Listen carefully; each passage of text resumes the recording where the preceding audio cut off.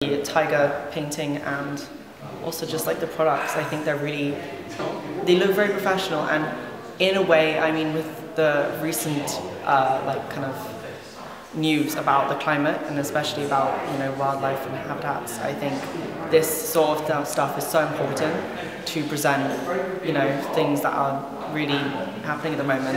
So this really heavily inspires me because I'm also just an environmentalist. So yeah, this I love this work. I think it's so cool.